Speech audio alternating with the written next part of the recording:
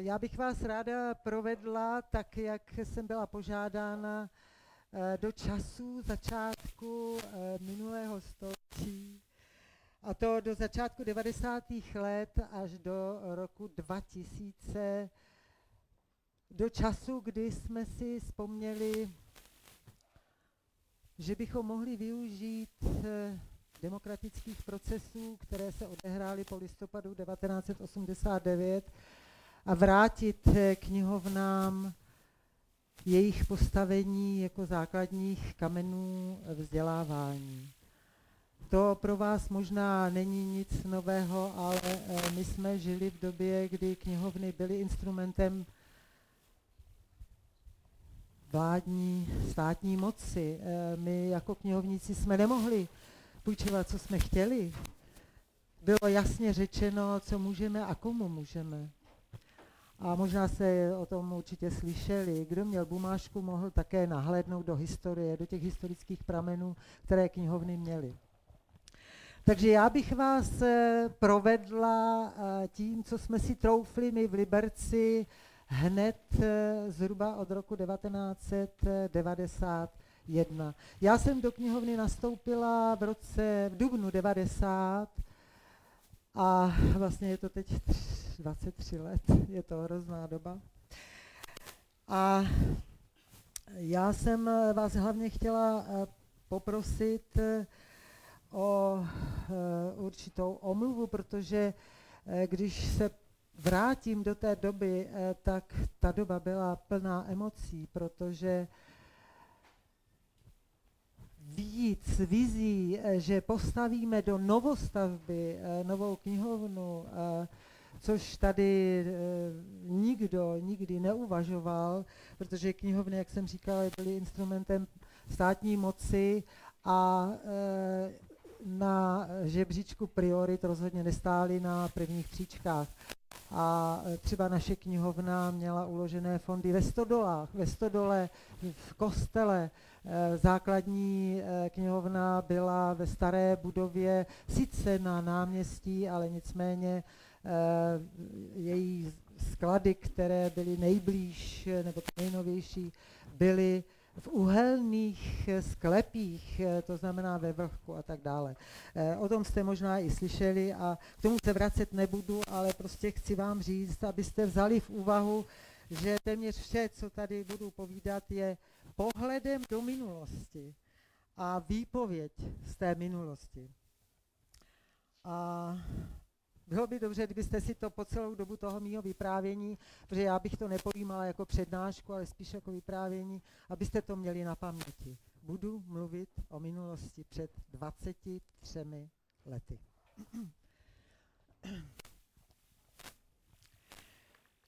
Tady jsem vám jen tak eh, v kostce řekla, o čem bude řeč, eh, v úvodu, o čem jaké předpoklady pro tu základní změnu, eh, se kterými jsme měli počítat eh, v té době, kdy se zároveň měli, měnil celý politický a společenský systém v našem státě. Jakým způsobem a jak jsme tvořili koncepci, jaká byla situace v našem regionu a jaká byla situace v našem městě, a potom tak trošku o té technice toho budování. Eh, tady bych chtěla jenom říct, že, eh, že eh, vlastně jsme byli knihovníci. Architekty, se kterými jsme mluvili, jsme sice oslovovali, diskutovali s nimi, ale oni neměli představu o tom, co je knihovna. Nikdy neprojektovali. Nikdy taky většina z nich nebyla někde v zahraničí, kde už moderní knihovny Eh, tak otevřené knihovny byly, což jsme zjistili hned, jak se otevřely hranice. A potom o tom dobrodružství, jak ta stavba probíhala. Eh, ona byla totiž eh, velmi dramatická, protože nejen měla přízeň zřizovatele tehdejšího ministerstva kultury, protože jsme byli státní vědeckou knihovnou pod ministerstvem kultury České republiky, ale zároveň se drali i firmy o tu zakázku a ty, které ji dostali, měli i potíže. A e, já jako ředitelka jsem měla potíže po celou dobu, protože ministerstvo e, vlastně nepochopilo mnoho věcí, které jsme v tom projektu předeslali a nechtělo nám vlastně dávat peníze, přestože ve státním rozpočtu s touto investicí bylo počítáno. Byl to hodně dramatický, byl to hodně o emocích a já eh, ty emoce někdy eh, tady se budu snažit trochu eliminovat a eh, trochu spíš číst některé lépe formulované věci z knížky, kterou jsem sepsala, která vyšla v roce 97 a jmenuje se Na houpačce nejen s knihovnou. Protože mnoho věcí uh, jsem potřebovala nejenom vstřebat, ale vylít, protože já jsem totiž byla i nespravedlivě, neoprávněně i stíhaná několik let potom, co knihovna byla dostavěna.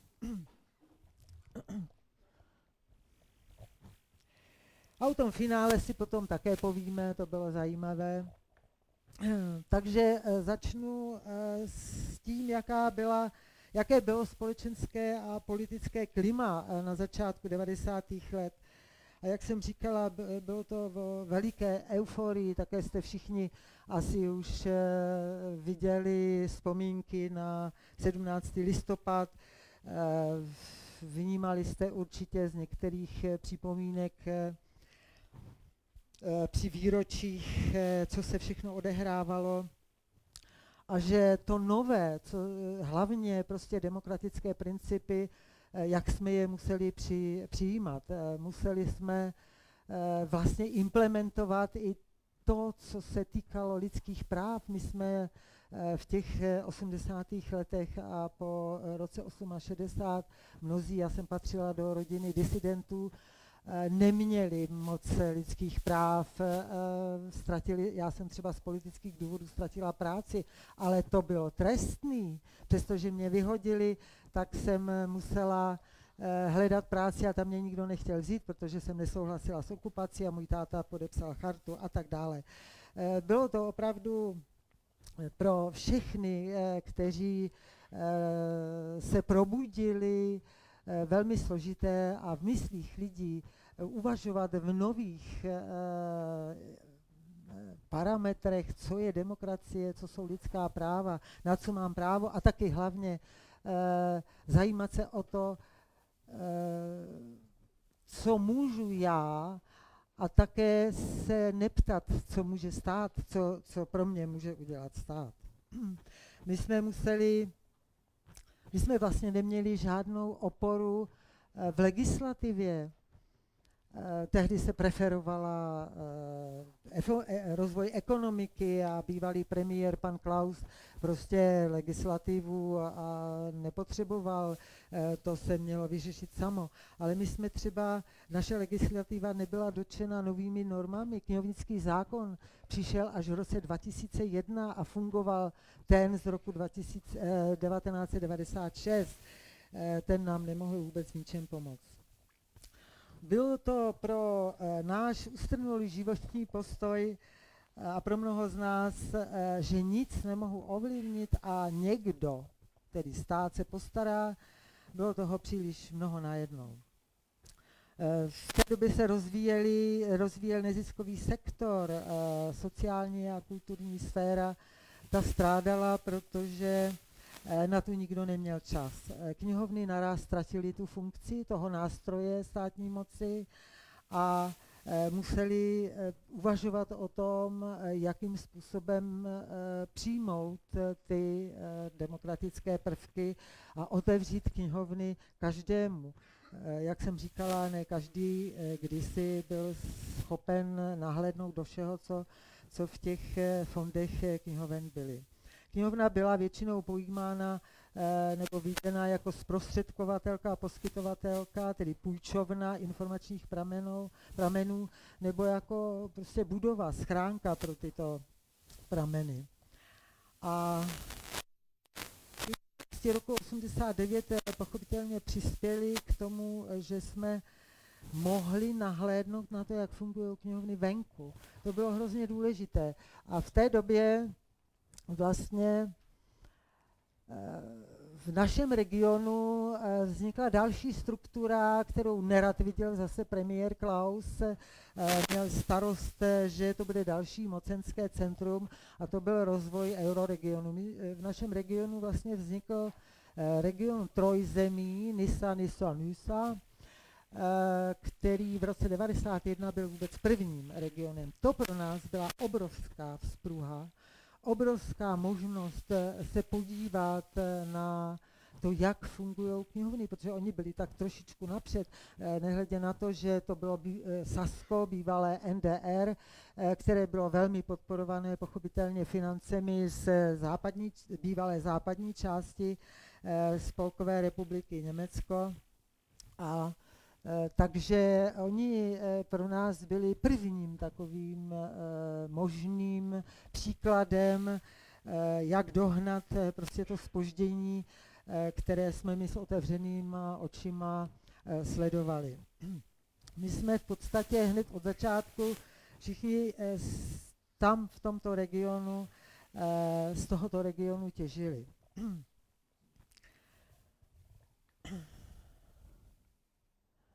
hledali jsme zkušenosti a byli jsme schopni těžit eh, z toho.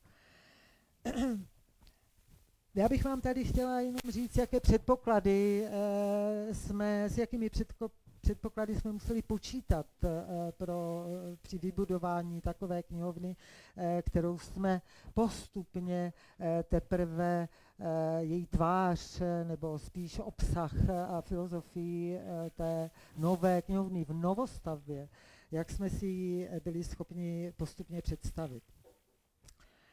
To, že jsme eh, byli, eh, museli přijmout ten nový celospolečenský politický systém a zároveň implementovat všechny principy demokracie do služeb knihoven, bylo pro nás, nebo pro většinu lidí, hlavně teda knihovníků, když mluvíme o knihovnách, byly dvě roviny a paralelně najednou toho učení bylo skutečně mnoho a to bylo.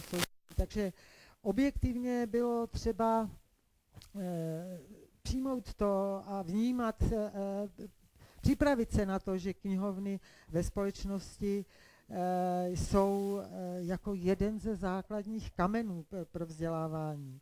Že jsme potřebovali vstřebat Eh, nové zkušenosti s funkcí a s rozvojem knihoven, knihoven ve světě. Že jsme díky tomu museli také hodně cestovat. Hranice byly otevřené, ale my prostě jsme byli nepoznamení, čist tabula ráza, e, nic jsme nevěděli ale potřebovali jsme počítat i s tím, že, se, že, obr, že, že tu je obrovský nástup informačních eh, technologií. Eh, vy si vůbec ani nedovedete představit, že se ty eh, třeba digitalizace nebo automatizace začala hlavně v malých firmách. A ty malé firmy okamžitě pochopily, že knihovna má spousta možností, jak automatizovat třeba fondy. Těch jednotek, u nás to bylo milion dvěstě tisíc, že by prostě se to mohlo všechno zautomatizovat, takže chodili a teď mi tomu nerozuměli, mi nevěděli, o co jde, takže opatrnosti taky nezbývalo museli bychom být opatrní. E, taky jsme se jako knihovníci pochopitelně scházeli s Národní knihovnou, která byla takovým tím metodickým centrem, e, kde byli poměrně znalí lidé, třeba Bohdana Stoklasová, která jejíž jméno určitě znáte, Eh, tu eh, otevřenou bránu, souborný katalog a tak dále, Martin Svoboda, všichni byli nějakým způsobem, eh, takže my jsme diskutovali o tom, co je možné, co není možné. Také jsme museli počítat s tím, že najednou vzrůstá, vzrůstají nároky uživatelů na naše služby.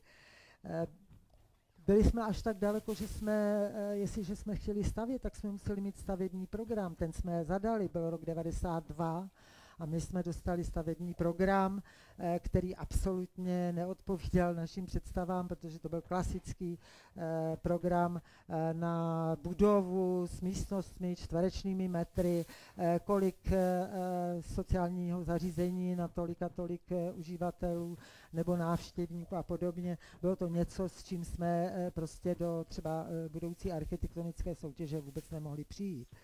A pochopitelně jsme museli vědět, kolik to bude asi stát a, a mít asi tak e, tu reálnou představu. E, protože těch možností nebylo, eh, nebylo mnoho. Finance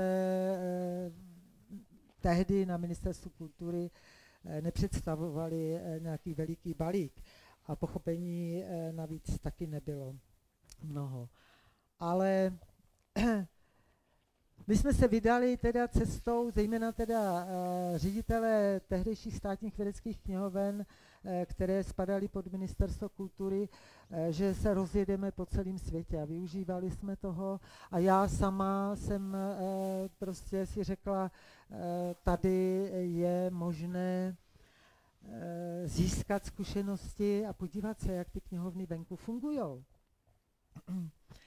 A subjektivně to znamená mít tu vůli, že teda do toho půjdeme a že budeme hledat a prohlubovat ty kontakty, jak osobní, tak profesní, a to se hodně dařilo.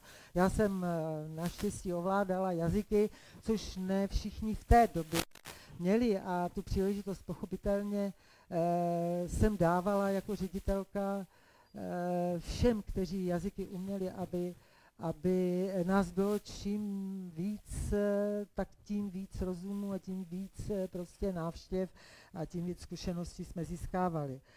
A motivovala jsem také své spolupracovníky, aby eh, se učili, protože tím víc, je, eh, tím víc jich můžu eh, ven i vyslat.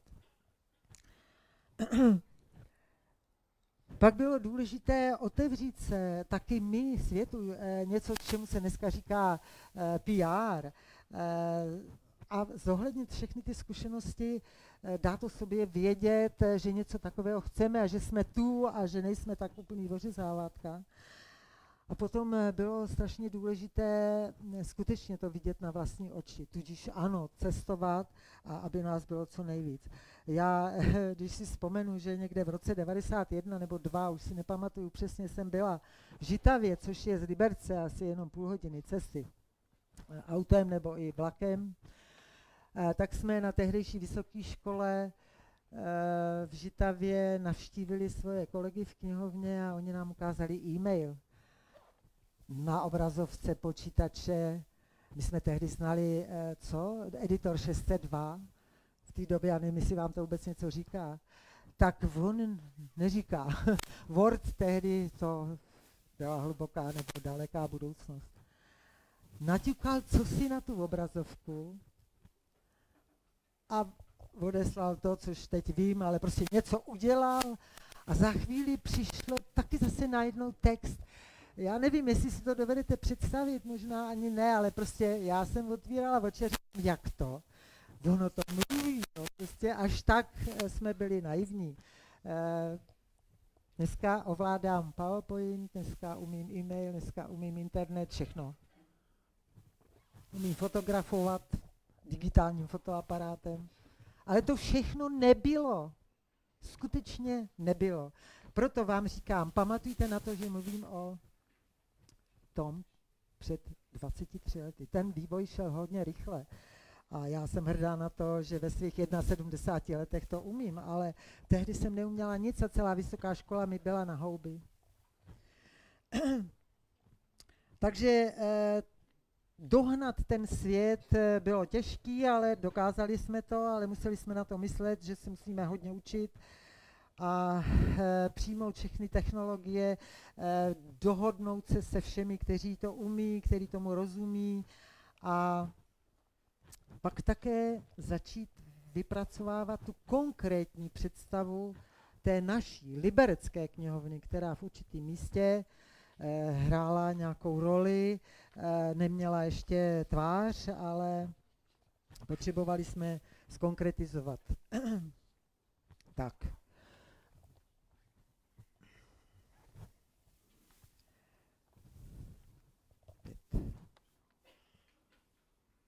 jsem vynechala tenhle ten obraz, takže to, to, o čem jsem mluvila teď, bylo tady. A, vra, a posunu to ještě dál. Takže chtěla bych teďka, je to šnép, zpět, neumím číst. Dobře je to teď. Tak jakou knihovnu jsme tak jako si asi představovali, jak se rodila ta koncepce. E, architektonická soutěž byla v roce 95, to znamená, pořád jsme ještě před tímto datem. A já vám teďka e, přečtu něco z té knížky, e, protože bych to asi tak nesformulovala, protože jsem hodně upovídaná paní, takže vám to radši přečtu.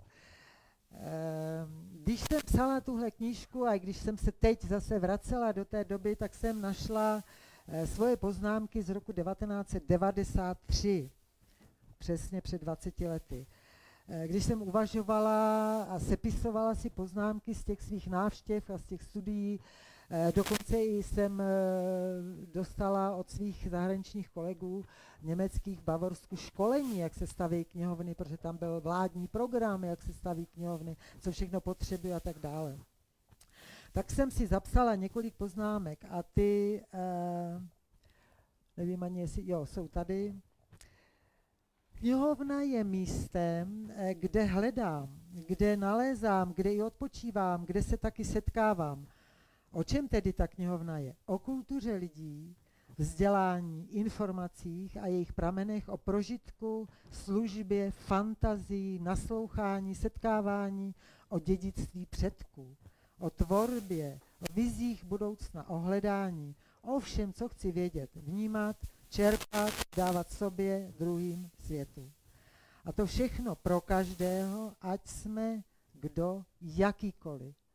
To jsou ty základní věci, které mě oslovily a které jsem chtěla do té koncepce dát. Dneska eh, to je pro vás pochopitelně samozřejmost. Těmi úvahami o fenoménu knihovna jsem se celý svůj profesní život eh, zabývala, ale eh, ty, ten, ten názor na to jsem nezměnila ani do teďka a e, debaty na toto téma považuji v podstatě e, za výzvu, stálou výzvu pro nás všechny, kteří máme e, ke knihovnici a informačním službám jakkoliv blízko.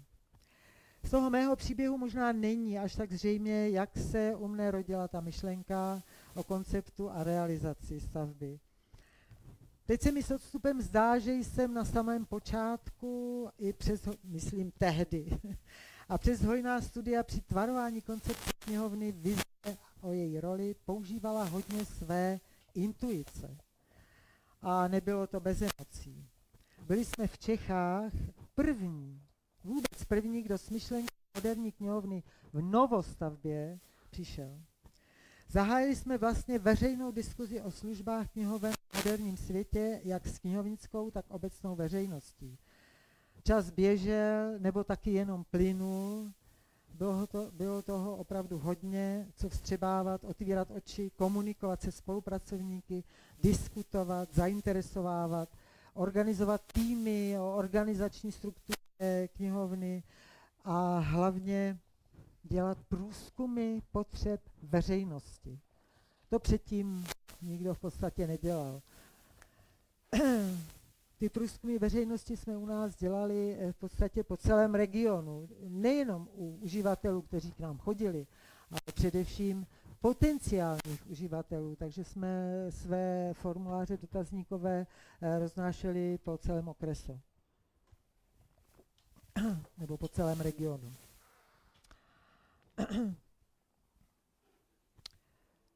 Chtěla jsem eh, vám eh, říct eh, jednu důležitou věc, která možná bude trošku mystická, ale pro kohokoliv, kdo něco dělá nebo chce dělat, je důležité vidět svůj cíl a svůj záměr hotový. A to je moje obrovská zkušenost, kterou bych vám chtěla předat. A my jsme v podstatě nevěděli, jak ta knihovna bude vypadat. ale já jsem věděla, že ji prostě dokážeme postavit a že bude mít ten obsah, který jsme e, jí chtěli dát. Tady jsme se nemohli o nic opřít, ale prostě e, bylo, to bylo strašně důležité. A e, mým hlavním úkolem bylo přesvědčit všechny, kteří se mnou spolupracovali, že to prostě dokážeme. A zase bych se vrátila k citaci z té houpačky. Věřit, že to chci, že to, co chci, lze uskutečnit, nebo lépe řečeno dokázat. Vydám-li se trpělivě zatím a s důvěrou v sebe, budu vidět ten cíl stále před očima. Zasvěcení, tedy mý přátelé, vědí, že jsem dávno před zahájením architektonické soutěže vydávala mnohokrát při představě hotového díla, aniž jsem tušila, jak bude vypadat konkrétně, dvě postavy ke mně zády, jak přestřihují pásku. To mělo být svědectvím o dovršení našeho cíle. Věděla jsem, že cesty k cíli nejsou jednoduché, že se dělí, mizí, jsou plné balvanů, ale že k tomu cíli se prostě vždycky najde jiná a další. Klikatí se a uhýbá, ale míří tam, kam má. Neříkal to už Saint Exupery, že rovná cesta k cíli nevede? Já netušila ale, že to funguje tak silně. A přece o přestřihování pásky při přípravách na slavnostní předání budovy knihovny a synagogy nebyla nikdy žádná řeč. Proč taky? Vchody byly dva. Do dvou objektů, knihovny a synagogy. Zdálo se, že pásku stříhat vlastně ani nejde, nebo se to prostě nehodí. Někoho to ale napadlo. Stříhat pásku budou dva. Představitelé projektu, ministr kultury Dostal a zástupce Evropské komise Ralf Dreyer. My jsme měli i peníze z Evropské unie, což bylo unikum v té době. A to budou přestřihovat uvnitř na mohutném předovém schodišti. Věřte, nevěřte, to byly ty dvě postavy opravdu ke mně zády. Já jsem totiž po svém úvodu na schodišti, úvodu při otevření, stále na tom schodišti jsem ustoupila níž, abych dala těm dvěma mužům ke stříhání prostor. A tak oni dva slavnostně přestřihli pásku a otevřeli ten náš stánek já stála zády a já jsem si uvědomila o dost později, že k této cestě směřovaly mé kroky více než deset let. Věřte, nevěřte. Funguje to.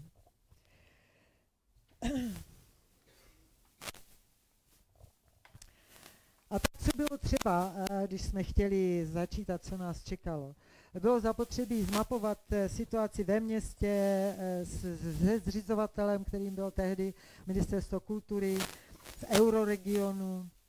Eh, bylo zapotřebí získat podporu orgánů i veřejnosti, jak jsem už říkala, mít podklady z těch průzkumů a najít taky pozemek, vypracovat nebo dopracovat ten klasický e, stavební program a dopracovat ho eh, s tou vizí, kterou jsme postupně e, střebovali i psali vlastně na papír, o které jsme diskutovali a kterou jsme pro architekty pak museli připravit do architektonické soutěže.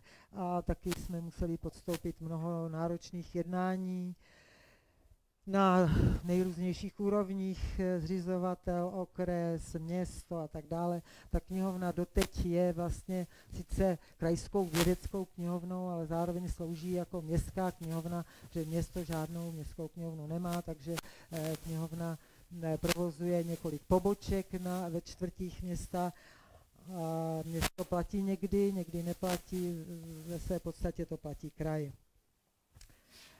Tohle, to, co jsem teď říkala, dneska už asi ví každý manažer, i ten, kdo uh, chce stavět jakoukoliv uh, budovu podnikatele, to vědí určitě, ale my jsme byli jenom knihovníci. Já třeba uh, připomenu, že ta architektonická soutěž byla, uh, jsme udělali podle záko- tehdejšího zákona o zadávání veřejných zakázek, uh, kde stálo, že vítěz architektonické soutěže může potom vypracovat projekt. A zároveň teda vlastně připravit i stavební podklady. Takže my jsme vyzvali čtyři ateliéry, regionální u nás ve městě, architekti byli nadšení, dokonce e, těsně předtím, než jsme vypsali zadarmo, nám udělali na jednom pozemku e, takovou studii krásnou, někde poblíž galerie, nádherný místo, ta studie nebyla zvlášť pěkná, nicméně i to měli obrovský zájem, protože stavět občanskou e, stavbu pro mě nebylo až zase tak běžné. Jenomže my jsme jako řekli, že teda nemáme peníze a že ta soutěž bude bez odměn. A oni jim to nevadilo tehdy. Nicméně komora architektů už měla svoje zásady a řekla zadarmo nikdy zadarmo to prostě nejde a takže nemůžete, e, takže přišli s tím, že nemůžou soutěžit. No tak jsme začali jednat s komorou architektů, řekli jsme, že naše legislativa nebo legislativa státní, to znamená zákon o zadávání veřejných zakázek je nadřazen jejich e, normě, ale že teda, abychom e, dospěli teda k té soutěži, tak uděláme nějaký kompromis. Nakonec jsme se dohodli, že ty odměny nebudou nějak velké a v závěru jsme ani neměli první místo, které bylo jaksi hodnoceno víc, eh, bylo až druhé a eh, tak jsme se s tím nějakým způsobem vyrovnali, všichni byli spokojeni. My jsme vlastně eliminovali eh, jakousi nevraživost, protože pochopitelně každý chtěl tu knihovnu udělat, byly tam nádherný nádherný eh, studie, eh, které by se nám líbily, ale zase měli jsme takovou velkou odbornou komisi, eh, která nám řekla, tohle nejde a tak dále. Ale protože jsme se všichni znali, tak jsme si to vysvětlili a ten vítěz, pan architekt Kousal, řekl, dobře, mám druhý místo a dostal ještě spousta úkolů, jak přepracovat tu studii, protože například návrh na synagogu byl válec, taková rotunda vysoká, pro židovskou obec to mohlo znamenat co? Připomínku komínu, že? Osvětím, jestli vám to něco říká. Takže to jsme řekli to v žádném případě, jak by to židovská obec tohle mohla přijmout, takže to musíte přepracovat. A na, bylo několik návrhů potom ještě a to už byl e, jako e, pověřen e, tím projektováním, až nakonec studoval v Praze v Židovském muzeu a Eh, vypracoval projekt na synagogu, která připomíná vlastně středověký pražský synagogy, je nádherná, stojí za to se tam podívat. Já bych tady snad ještě trochu času mám, e, znova e, chtěla říct hlavně to, jak zoufalá byla komunikace s ministerstvem kultury. E, vlastně institucí, která řídila celý ten program. Bez jejich podpisů jsme nedostali ani korunu z ministerstva financí, z takzvaných fišek. Prostě eh, na tom ministerstvu eh, bylo sedm ministrů za celou tu dobu do roku 2000. Ten poslední byl minister Dostal, který mi dělal největší trable. Ale ten jediný, který teda e, nás podporoval, byl pozdější poradce prezidenta Havla a byl to osvícený Pavel Tigrit. Eh, a já si nesmírně vážím toho, že eh, až do poslední chvíle svého života projevoval při našich setkáních a novoročních přáních zájem, jak se knihovně daří a mě osobně také. Protože i on pochopil, že ten poslední ministr eh, prostě nechce dát peníze a má jakousi zvláštní záště vůči tomuhle projektu. O tom možná budu ještě hovořit. Dostali jsme je eh, nejen díky kanceláři prezidenta, která eh, pochopila, jak významné je právě eh, ta symbolika, kterou jsme do toho projektu vložili, že se staví na pozemku židovské obce na místě, kde nacisté vypálili synagogu za křišťálové noci 19, v listopadu 1938 takže eh, jsme dostali i záštitu pana prezidenta Havla a německého prezidenta tehdejšího Herzoga, eh, kteří tu naši stavbu zaštitili. Nebylo to sice o penězích, ale ta morální podpora byla obrovská, eh, že jsme se mohli opřít o tom, když jsme ty peníze hledali. Podařilo se nám skutečně stepováním v parlamentu v obou komorách získat podporu Petra Pitharta, tehdejšího šéfa rozpočtového výboru Josefa Wagnera, Tomáše Ješka, Jiřího Vlacha, Vladimíra Laštůvky, Petra Mareše, to je například ten jeden čekatel na post velvyslance v Kanadě, teď právě. Byl šéfem Unie, Unie svobody, se jmenovala ta, ta politická strana. Napříč politickým spektrem jsme získávali podporu, někdy se zdařilo i získat nějakou korunu z nějakého projektu. Eh, ze začátku taky nás podporovali liberečtí radní, ale když ministerstvo kultury eh, prostě ustoupilo z toho úplně původního návrhu eh, nebo námětu nebo záměru prodat dva domy, jeden státní a jeden eh, městský a z těch eh, peněz eh, potom stavět knihovnu, tak liberečtí radní už prostě o tom nechtěli slyšet. Nicméně získali jsme je opět různým lobbyingem a podařilo se taky zakotvit i tuhle investiční akci do zákona o státním rozpočtu, tak e, jako třeba Moravskou zemskou knihovnu, e, abychom e, měli vlastně možnost čerpat alespoň nějaké peníze ze zákona. A já bych tady jenom řekla málo ještě, co jsem si teda sformulovala do knížky, že šlo věru o nadlidské snažení. Já to dneska tak cítím, skutečně to bylo nad mé síly kolikrát. Eh, byla jsem z toho eh, i potom v závěru nemocná. Zajistit hlavně finance na stavbu a bylo vyčerpávající získat prostředky na vnitřní vybavení novostav, novostavby, se kterým ministerstvo prostě vůbec nepočítalo. Nebo díky střídajícím se ministrům prostě nechtělo dát ty prostředky. A to vše navíc v atmosféře, proměn postojů nebo nezájmu úředníků, ministrů či zastupitelů k tomu, co knihovnické a informační služby znamenají. Že jsou to standardní součástí vyspělé společnosti a ne půjčovna knih eh, a pro děti nebo seniory. Skutečně to tak někdo i pojímal. Snad jen vrozený optimismus, ale i podpora těch, kteří věřili, že nejde o nesmyslný nebo dokonce megalomanský projekt, jsme získali podporu některých spolupracovníků a politiků, přátel i, a šlo i o vytrvalou pomoc a aktivity domácích i zahraničních kolegů a mé vlastní rodiny a rodiny některých mých, přátel, mých eh, spolupracovníků, kteří mi pomáhali to mě všechno utvrzuje v přesvědčení, že jsme představili dobrý příklad, kam se mohou a mají české knihovny a jejich služby ubírat.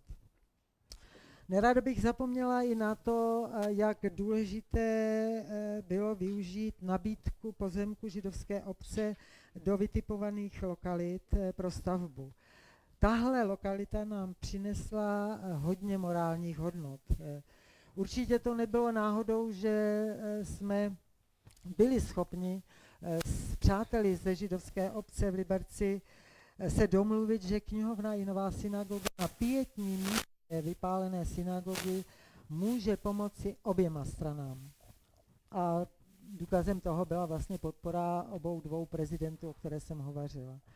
Tohle skutečně nebylo lehké, protože své z debaty s radními v Liberci o výstavbě synagogy a hledat eh, náhradu za ztrátu výdělku židovské obce, která na tom místě provozovala eh, v, eh, do začátku 90. let parkoviště. Byl to ošklivý pozemek, ale bylo to na místě, kde stála jejich synagoga a po revoluci 89 dostala židovská obec ten pozemek zpátky. Ale my jsme chtěli, aby taky dostala aspoň pár peněz, které vytěžili z provozování toho parkoviště. Bývalý primátor Drda prohlásil, co by ty židi chtěli, když dostali pozemek. A já jsem jim mu těžko, vy, eh, nebo dokázala jsem to, ale vysvětlit mu, že oni dostali ten pozemek zpátky, a ne, že chtějí něco navíc. A oni nám ho dali, takže žádný výdělek nemůžou, nemůžou mít, takže potřebovali někde. To se potom podařilo. E, na druhou stranu v zahraničí e, nám e, toto, to, že stavíme i synagogu, otvíralo kasičky. A ne malé. Perličkou je taky to, že že se třeba ministerstvo kultury snažilo neustále snižovat rozpočet. Eh, vlastně o dvě třetiny v podstatě. Eh, že řekli, ať si to postaví Němci, tu knihovnu. Eh, naše knihovna má sice asi 13 tisíc sasků českých Němců, tedy vyhnaných původních obyvatel toho regionu, a, fungovala tam velká tehdy ve 20. letech knihovna sudeckých Němců. My jsme prostě museli eh, dokazovat, eh, že jde o českou knihovnu, že eh, ta knihovna prostě slouží české veřejnosti a že, je, že dluží oběma skupinám, to znamená české veřejnosti i židovské. Ono se nevrátilo z těch koncentračních táborů mnoho, Němc, mnoho židů. Jenom asi na, eh, můžeme počítat na jedné ruce, prsty na jedné ruce. A že teda slouží i dnešním spolupčanům jiného jazyka. Němci tam pochopitelně zůstalo. Židovská obec tehdy čítala těch 90. letech, kdy se probouzela k životu asi 70 lidí, většinou starých. A byli to ale židé ne z Liberce, byli z Zakarpatské Rusy, tak dále, ze Slovenska. Chci jenom připomenout, eh, že eh, i dosud panuje skutečně mnoho nepochopení mezi politiky nebo i správních eh, orgánů na funkci knihovny. Lze připomenout tady na tom místě i nedokončený příběh výstavby Ostravské vědecké knihovny. Jak dlouho existuje projekt a jak dlouho existují sliby a v jakých podmínkách ta knihovna pracuje.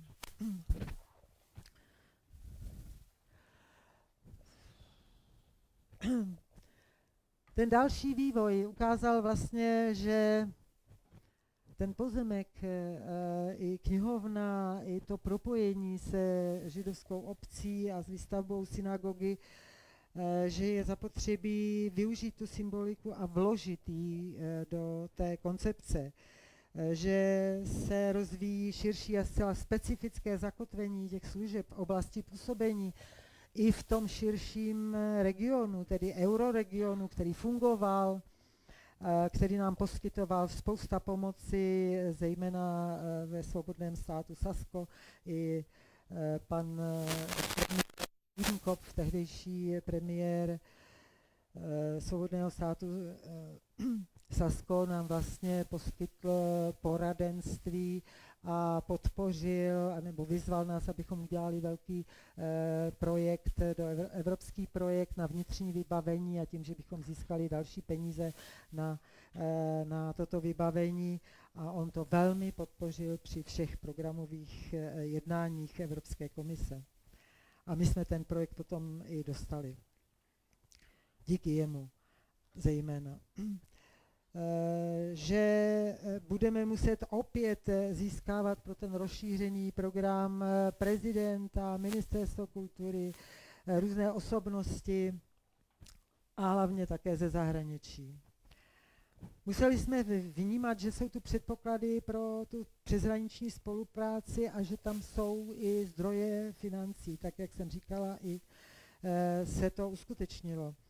Eh, museli jsme vnímat, že máme málo eh, odborníků u nás a že jsme tu odbornou pomoc hledali eh, venku. Já jsem možná už zmínila, že, jsme, že jsem dokonce se zúčastnila ještě jednou kolegyní, která uměla německy v Bavorsku, školení, které nám hodně dalo a kde jsme se hodně inspirovali. Ale pochopitelně jsme jezdili, jezdili ven, hlavně do Německa se svými eh, kolegy před, eh, řediteli státních vědeckých knihoven jsme jezdili po celém světě. Nejvíc nám ovšem odborně pomohly takzvané Fachstellen, odborná centra, Německa, které už dneska také trošku omezují nebo jejich počet je omezen, ale tehdy eh, tam bylo skutečně mnoho odborníků, eh, kteří nám pomáhali, přijížděli, eh, vozili knižní dary a díky tomu, že někteří z nás uměli řeč, tak mohli mohli eh, jsme vlastně eh, naštudovat eh, všechno, co se týkalo staveb knihovny a hlavně provozu a to, tomu otevřenému provozu. V Německu ty knihovny fungovaly jednou takovou vzorovou knihovnou, která tam stála už deset let předtím.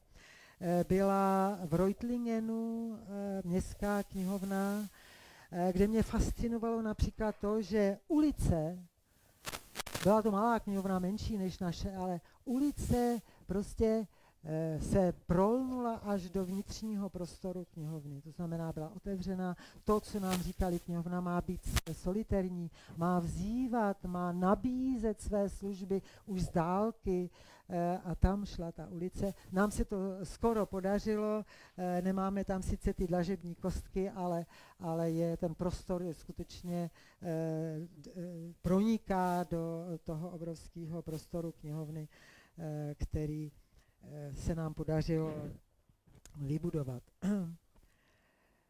Pokud je o tu symboliku, kterou jsme tam vkládali, to taky nebylo tak úplně z naší hlavy, uh, nicméně vlastní symbolika ano, ale já jsem zjistila třeba, že, že venku, zejména ve skandinávských knihovnách, má každá knihovna jakousi zvláštnost, jakousi symboliku. Například ve Stockholmu, já nevím, nakolik jste cestovali, městská knihovna eh, měla, dneska už uvažují o nové eh, stavbě městské knihovny, to je opravdu fascinující, ale tehdy, když jsme tam přijeli, tak eh, bylo v té vstupní hale byla jakási obrovská studna a do ní spadaly girlandy různých květin. A když jste se podívali nahoru, tak vám došlo, že z toho kosmu proudí informace a ten zdroj je ta studna to bylo tak výmluvné, že jsme říkali něco takového máme my. A my jsme měli eh, na tom pozemku pochopitelně ten, ten se nabízel už tím, že tam byla ta tragédie 38. roku, spálená synagoga. Takže s architektem pochopitelně e, jsme vkládali další. Architekt pochopil, že třeba triangl, trojuhelník, je polovina Davidovy hvězdy, takže tři, některé světlíky, některá okna, okno v synagoze eh, je trouhelníkové, znamená bolest, polovina Davidovy hvězdy. E, trojuhelník ovšem také znamenalo pro nás, a to jsme světu říkali, symbiozu, tři, symbiozu tří kultur, které v tom regionu žily. Česká, německá, židovská. že žijeme v trojzemí, zase tři. Dalším symbolem bylo to, eh, že e, jsme symbolicky očkodnili židovskou obec. Vrátili jsme jim stánek eh, na, jak, jak kulturní, tak církevní a zároveň ta synagoga je vklíněna do budovy knihovny, která ji symbolicky chrání takže chrání ochrana menšin. To bylo pro mě hrozně důležité. Moje matka byla Němka, e, mám předky v Polsku, z Polska a můj táta je Moravák ze Znojma. Nebo byl teda, on byl taky 1901, už tu dávno není. Takže tahle symbolika pochopitelně e, nám přinášela možnost e, i hledat finanční zdroje, podporu právě na to, například na tu synagogu. To jsme přesvědčili německý stát, aby tu synagogu zaplatil. Ne knihovnu, ale synagogu. Nacisté ji vypálili, dejte nám. Dali 30 milionů. Kolik to stálo úsilí, eh, to už tady rozvádět nebudu, ale každá cesta pro mě a pro mé kolegy, zejména pro mě teda, když jsem s těmi studiemi a s, a s tím projektem jezdila ven, znamenala hledat finanční podporu. Mohla bych tady vyprávět, ale moc času nemám. eh, ale najdete si to knížce na, na straně 74-75, jak jsme mohli dostat milion dolarů od eh, šéfa nadace nebo od nadace eh, americké židovské obce ve Washingtonu, pana Talismana s velmi výmluvným jménem, který od toho ustoupil díky eh, neskutečným poměrům xenofobie a rasismu v našem státě. Takže to mě bylo líto, nicméně mohlo to být. Takže jsme se dostali do dalšího stádia a to, jakou jsme připravili, eh, jaké podmínky jsme připravili pro architektonickou, pro ty, eh, kteří ještě pořád nevěděli, co knihovna je. Měli jsme poskyty, vypsali jsme tu soutěž potom, když jsme se domluvili s, tě, s tou komorou a zároveň poskyt, poskytli i eh, konzultace, protože nám bylo jasné, že prostě nevědí, co je knihovna. Je to půjčovna, že jo, chodí tam lidi, půjčují si časopisy, noviny, případně nějaký mikrofilmy, mikrofiše. To bylo všechno, co ty architekti věděli, naši. Takže eh, si troufnu, eh, teď eh, můžete číst se mnou, jak podrobně, možná dneska z toho pohledu už ne tak podrobně, abych možná doplnila ještě spousta věcí, prostě byli jsme takový partizáni, že to, co je dneska možná v hlavách manažerů, který se chtějí vydat cestou výstavby, jasný, ale my jsme se to fakt učili a proto jsme i s chybami eh, to předložili v této formě. Knihovna musí být schopna reagovat na všechny trendy, ale i schopna odolat všem trendům, které jak v architektuře, filozofii informačních služeb, i skladby vnitřního prostoru mohou nastat. Interiéry budou tedy vysoce mobilní, představitelné, prostory co nejpřehlednější, pohodlné, bez chodeb ale s klidovými zónami. Vemte si, kolik knihoven ještě má prostě oddělené prostory služební, e, uživatelské, sklady, prostě všechno. Nakonec i Moravská zemská knihovna, která je nádherným architektonickým dílem, ale uvnitř je to všechno pěkně oddělený, nevidíte nikam, přijdete do úřadu, kde jsou zavřeny dveře. Je mi to líto, ale je to tak. My jsme tomu dokonce říkali skanzen 70. let, ale je mi to líto, ale e, prostě myslím si, že já jsem dneska neprocházela knihovnu, možná se tam hledat, co změnilo. Budova by měla vyzývat k navštívení z dálky, bude významnou dominantou středu města spolu s radnicí, divadlem. Nebude je ale zastěňovat. Na první pohled by měla být místem klidu, radosti, z možného povznesení duchovního.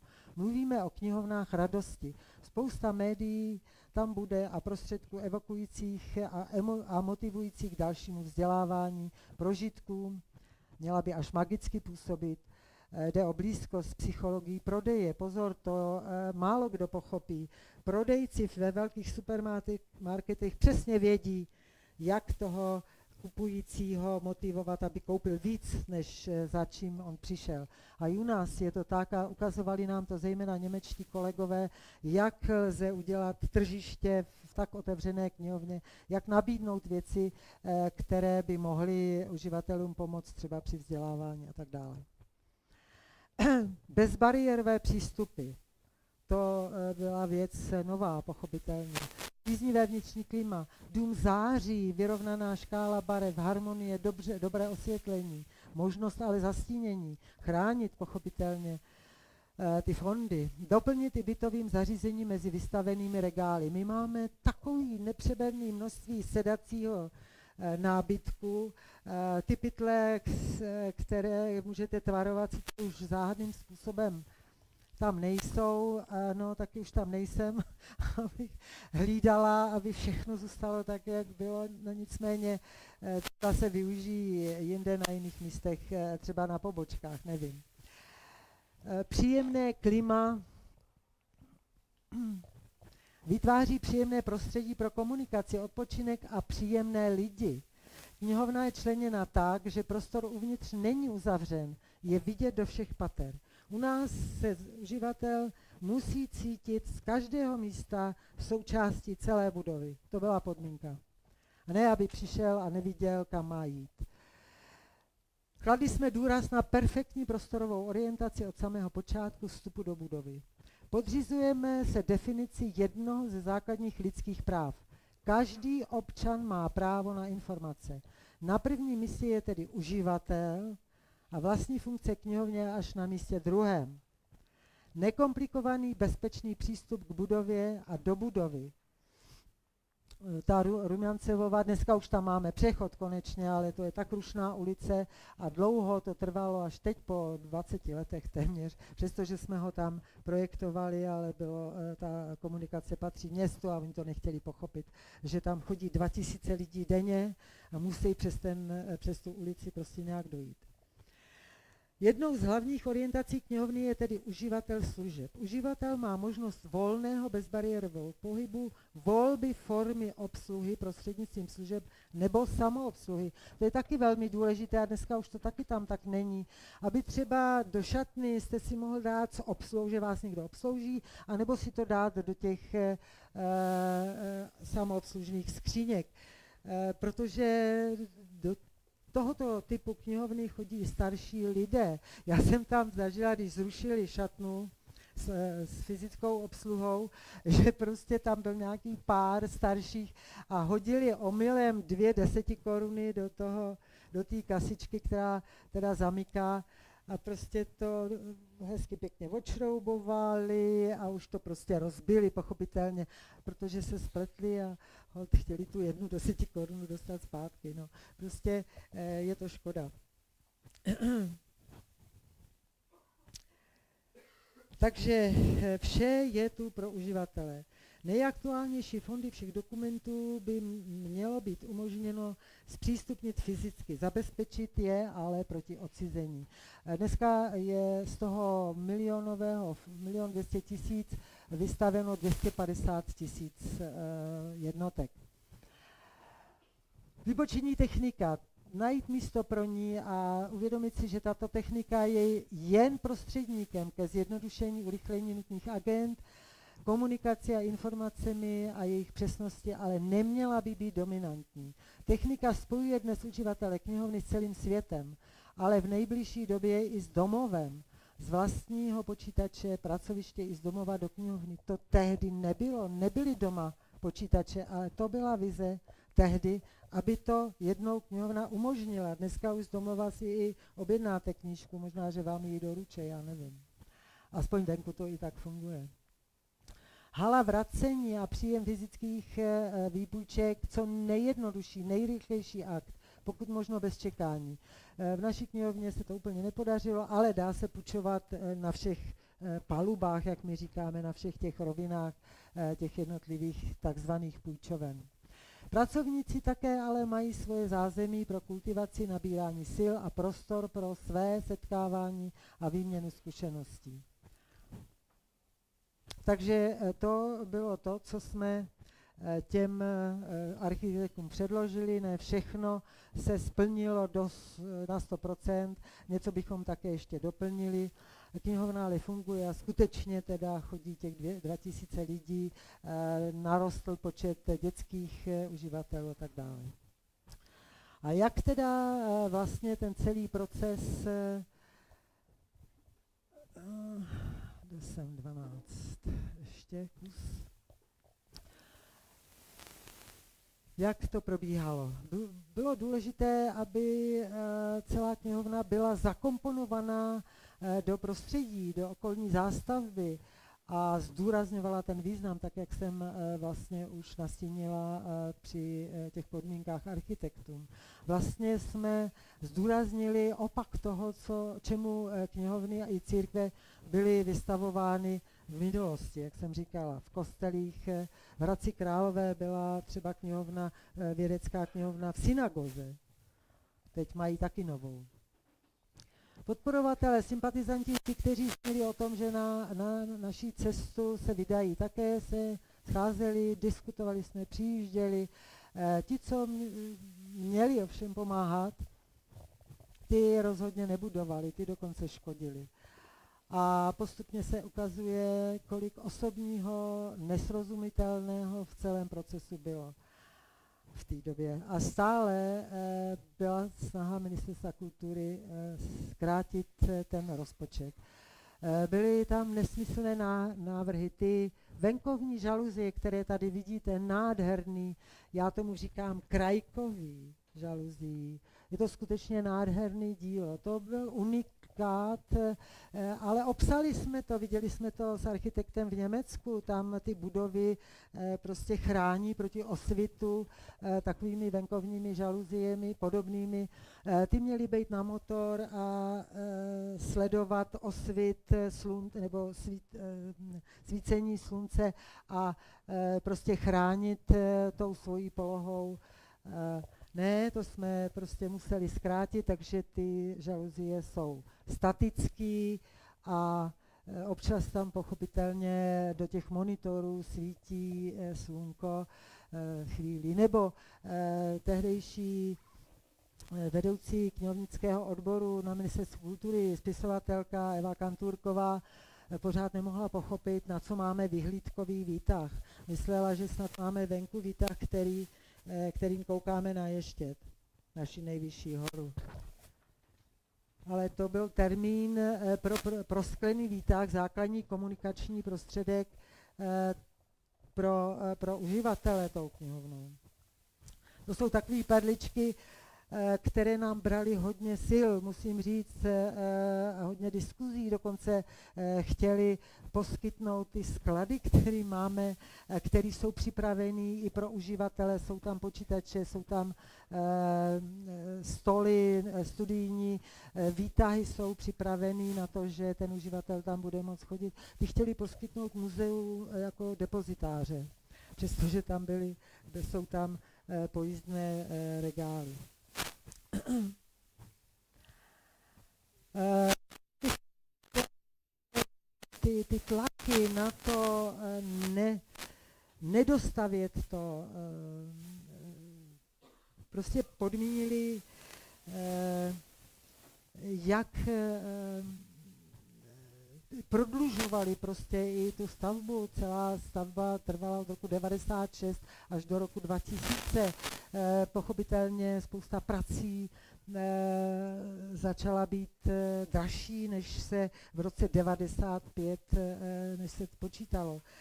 Pan náměstek, tehdejší náměstek ministra kultury, pan Ilja Racek, mě několikrát přišel oznámit, že mě pan minister dostal chce odvolat, protože má nějaké náznaky, že se tam krade nebo že se, že se prostě Eh, defraudují nějaké peníze, nevím, odkud to měl, eh, nicméně pořád eh, měl pocit. Takže já jsem mu několikrát nabídla svoji funkci, já jsem byla přesvědčena, že se prostě nic neodehrává, nejenom přesvědčena, já jsem to věděla, že, že prostě je to hrozně nespravedlivé. Vůbec mě to ale nepřekvapalo, nepřekvapovalo, protože pan minister dostal byl velmi nekompetentní člověk, který, který fungoval eh, na základě kamaráčovství, eh, který hodně často pil a já jsem s ním eh, jednala velmi často s podna, v podnapilém, on byl v podnapilém stavu.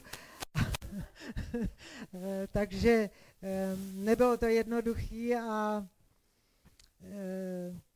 on sám uvedl do protokolu výslechu při pozdějším mém stíhání, že mě chtěl odolat čtyřikrát.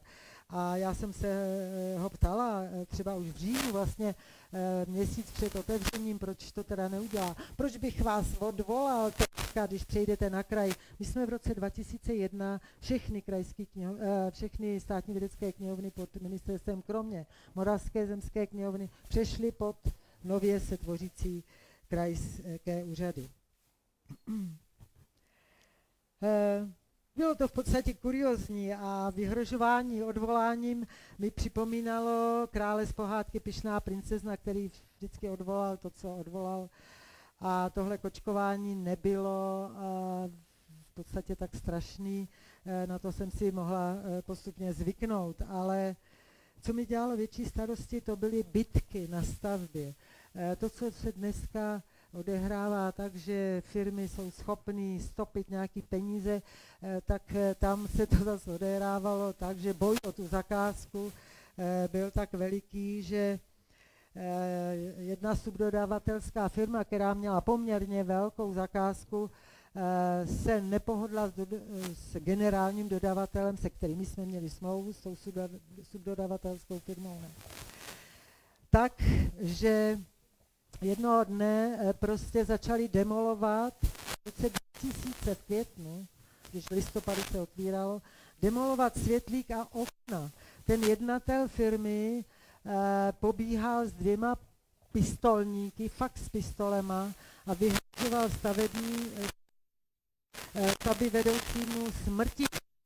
A mě tam eh, teda zavolali a když jsem tam přišla, tak oni byli těsně jak malí kluci před rvačkou tak jsem zavolala policii, policii na stanici 6 hodin v podmínkách, jestli znáte kavku v proces, tak asi tak podobně to vypadalo. E, policajti měli tehdy tu 602, o kterém jsem se zmínila v tom roce 2000, když my už jsme znali Word, tak oni psali protokol, někdo na stroji a někdo na týhle 600. No a většina potom na stroji.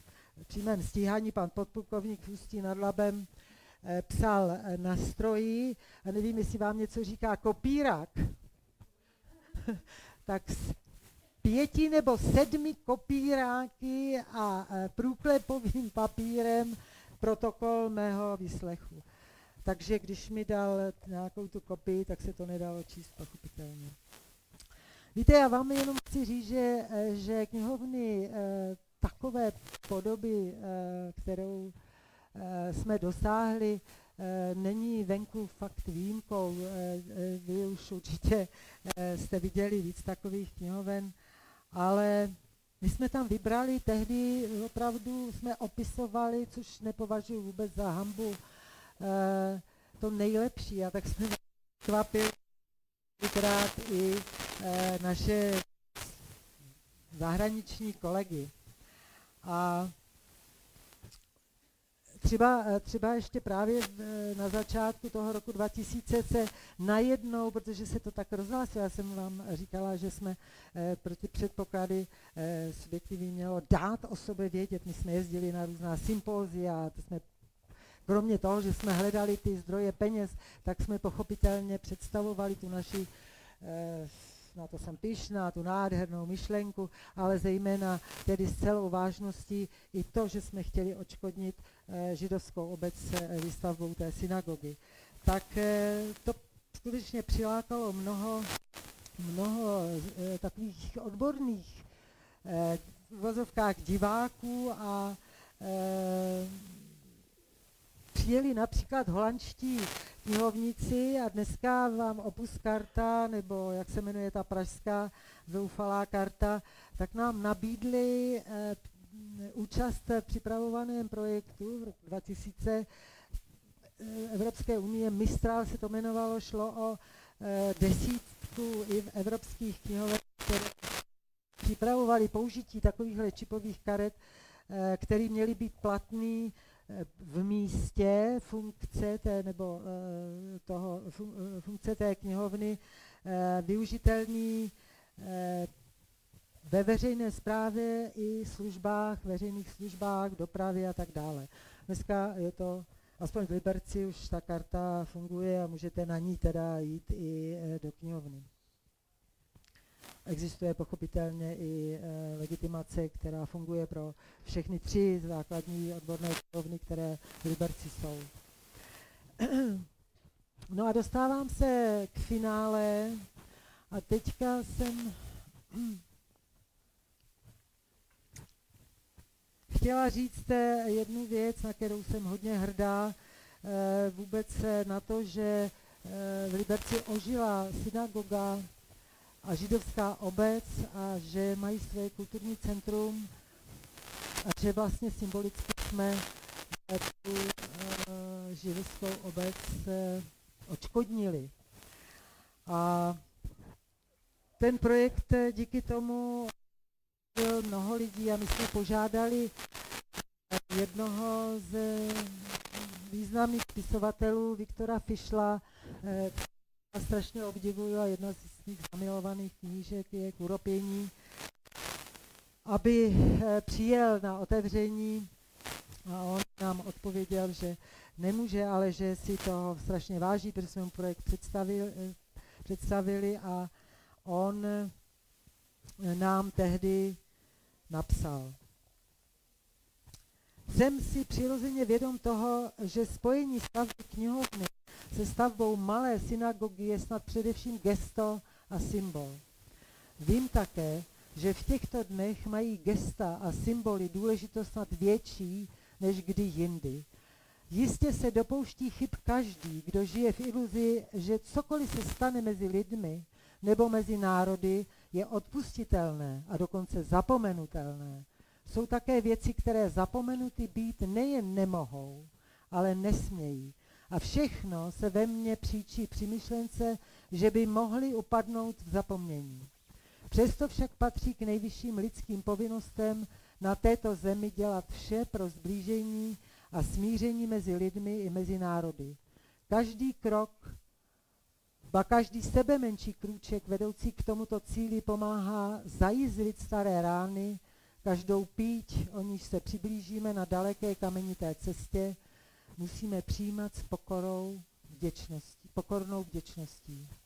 I to, čeho jsme právě svědky při otevření Liberecké knihovny, je takový krůček ve správném směru a ty, kdo pro tento krůček razili cestu, můžeme odměnit jen povzbudivým potleskem a přiložením pomoci k jejich dobrému dílu.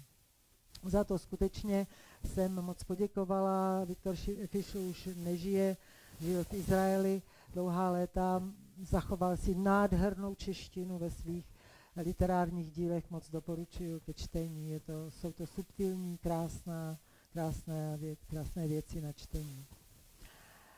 Jak jsem říkala, že to oslovilo i naše zahraniční kolegy, přijel také velvyslanec Švédska a udělal obrovskou medializaci, dokonce říkal, že uvažuje o daru e, pro knihovnu a nebyl tehdy sám.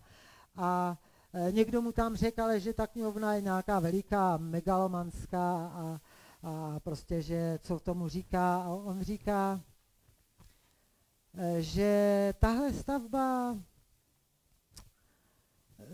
vlastně, že takovouhle velkou knihovnu má každé švédské město liberecké velikosti ale takhle zajímavou a tolika symboly doprovázenou žádná. To komentář nepotřebuje, že? Eh, odjeli jsme taky eh, v dubnu 2000 do Varšavy, eh, kde se konal, konalo sympózium výstaveb knihovny Liber, se to jmenovalo, Liber Architecture Group a konalo se to ve nově vystavené univerzitní knihovně, kterou vedl mladý, eh, příjemný ředitel a, a byl naším hostitelem, eh, který se jmenoval Henrik Hollander. Říkám to proto, to ještě dodám, eh, jenom si říct, že ta knihovna, jak jsem si poznamenala, že na mě udělala obrovský dojem, a e, že ten ředitel byl tak euforický, podobně jako já. E, nevypadalo to, že by měl velké problémy. Byl, ta knihovna byla skutečně věnovaná sakům prásk, včetně těch skladů, které my stále ještě máme zavřené. Máme dva. Sklady prostě byly při vlastně těmi jednotlivými patry a všechno bylo digitalizované uživatel si mohl užívat eh, kamkoliv se vydal, byly, byly regály knih a místa teda k odpočinku a tak dále.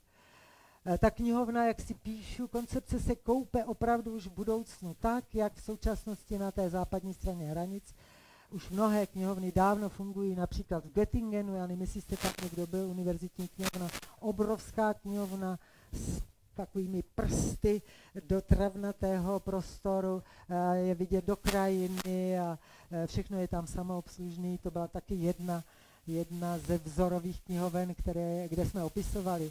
Nebo například e, v St. Gallen, univerzitní knihovna, která je komplet prezenční.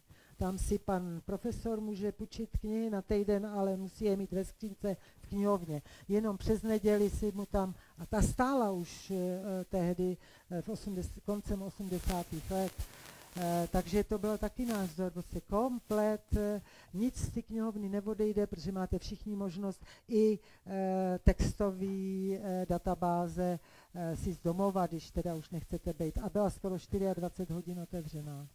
To je to je nešvar našich českých knihoven, které nejsou, tady v Brně to moc neplatí, ale některé knihovny skutečně. Univerzitní knihovna v Liberci je otevřena, není otevřená v sobotu, není v neděli a ve všední den má jenom do půl sedmi. Já to nechápu. Ale k tomu řediteli Holendrovi ještě chci říct jenom jedno, že tento mladý aktivní a pole, byl, byl pořád takový aktivní a po leta jsem se s ním se, setkávala na různých akcích e, mezinárodních e, a naposledy v roce 2006 e, na konferenci Infora a on už nebyl ředitelem a měl tak trochu problémy. A oni nebyli tak nepodobné těm mým. Takže nevím, jestli to je a byla jenom náhoda. Nebo ten, kdo prostě odvede svoji práci, musí být po zásluze potrestán. Nevím, rozhodně už se ztratil a ale má, má tam pomník, protože ta knihovna je nádherná. Ne všechno bylo pro mě stoprocentní, ale nicméně je to nádherná knihovna, taky stojí za to se tam podívat. A e, pak taky jsme překvapili některé, kteří nebyli políbeni e, tou moderní představou o knihovně.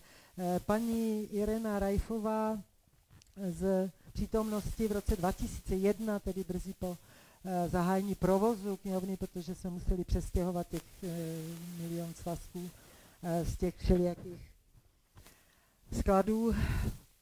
A píše, novostavba státní vědecké knihovny v Liberci je omamným čtenářským zážitkem. Kromě knih tu totiž můžete dlouhé hodiny číst i knihovnu samotnou. Ač umístěna v městě pod Ještědem připomíná operu v Sydney. A stejně jako na břehu oceánu i tady lze snít, Třeba o ideální společnosti otevřené všem, o světě, který, eh, kde je každý vítán, protože jeho heslem je být veřejný. Liberecká knihovna je velký dům s interiérem postmoderního paláce, v níž obvykle vídáme kapitány tohoto světa. Pouze s tím rozdílem, že knihovna je tu i pro paní s nákupní taškou, i pro ošuntělého studenta.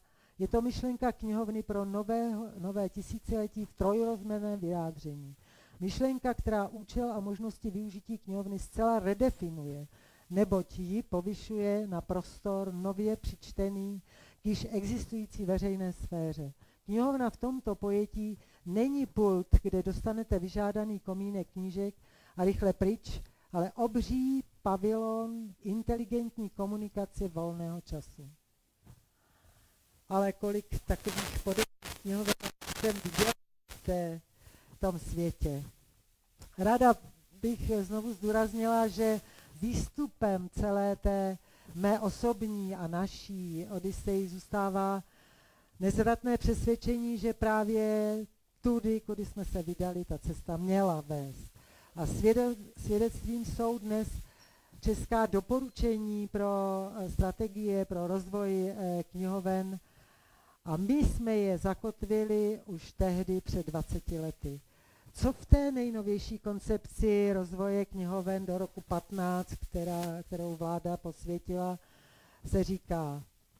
Klient říká, v krásné, přívětivé a pohodlné knihovně být rychle obsloužen příjemným, kvalifikovaným, očividně spokojeným a motivovaným personálem nebo z pohodlí domova bez ohledu na národnost či handicap kteroukoliv denní či noční dobu získám bezplatně požadovanou kvalitní službu. Tato vize rozvoje knihoven pro nejbližší období stručně vyjadřuje, že zásadní priorito, prioritou budoucnosti knihoven je jednoznačná orientace na kvalitní a pohotové služby, které jsou díky využívání informačních technologií v podstatné míře dostupné 24 hodin, 7 dnů v týdnu. O tom, jak to v některých knihovnách bylo, jsem lehce zmínila. V roce 2009 říká třeba uh, tehdejší ředitelka knihovny v Seattleu, knihovna je otevřená každý den, včetně její knihovna, včetně víkendů, prostě stále k dispozici. Tak jako tisíce nových knihoven je srdcem města a jeho obývákem. Tak takovou knihovnu jsme chtěli. A e, co e, tedy knihovna všechno umí? E, já vás nebudu zdržovat, asi tam je, je webovská adresa, to si můžete najít možná v knihovně, na webu naší knihovny nebo Liberecké knihovny, že ta knihovna umí skoro dneska všechno. Umí, umí plesat v knihovně, což je unikum tady.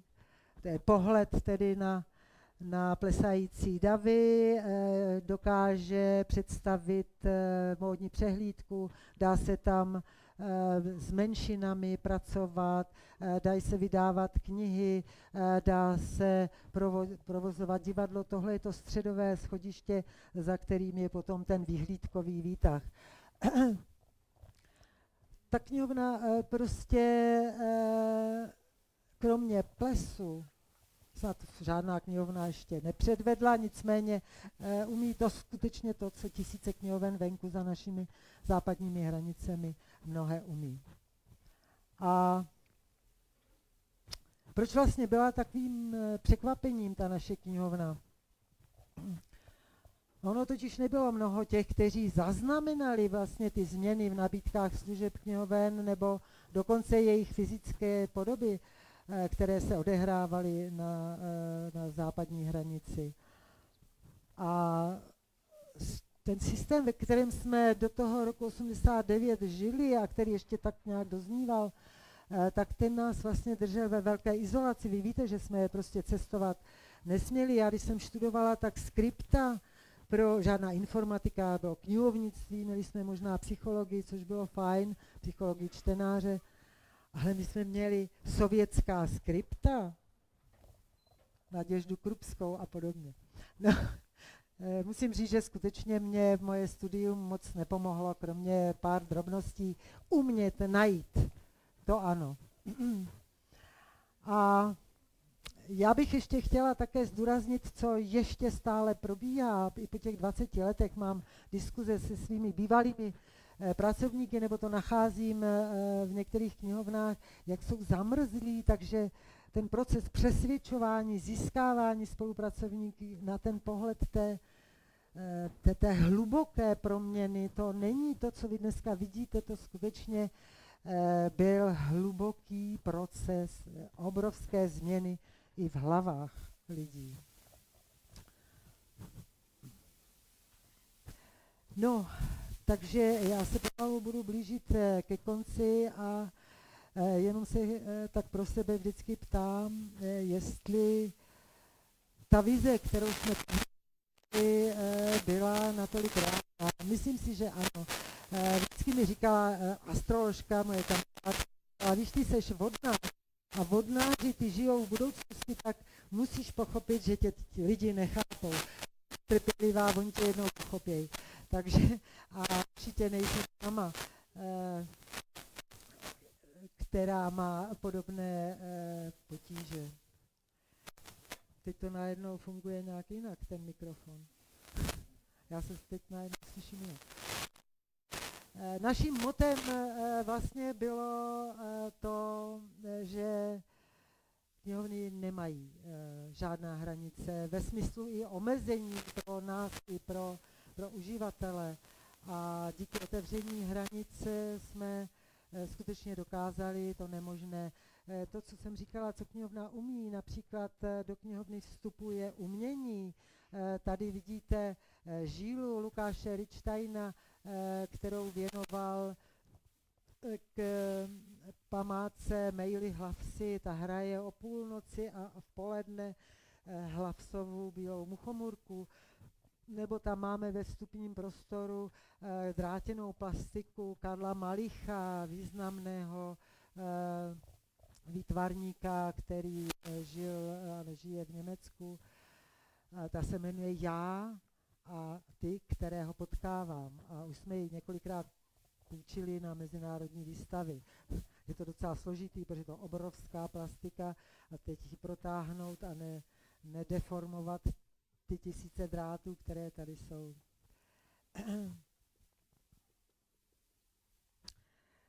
Takže to, že se taky podařilo architektonicky to stvárnit, je, je a, a to, že ten architekt pochopil, jakým způsobem eh, tu knihovnu eh, té veřejnosti věnovat, eh, to bylo hrozně důležité.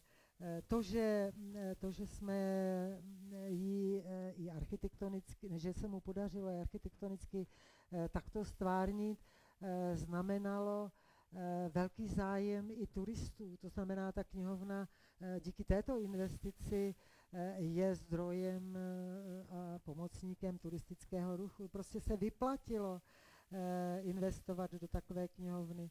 A jak krátkozrací byli ti, kteří tolik bránili stavbě knihovny a krátili ten rozpočet a trestali realizátory, to bohužel už je jejich problém, ale ta knihovna tady funguje a myslím si, že nakročeno je a že jsme těch tři, za těch 13 let nezůstali úplně sami. To, že, já teď nevím, jestli tady, jo. To, že jsou ve světě Seattle, a Alexandrie, tam byla, byly Drážďany, ještě jednou to zkusím. no.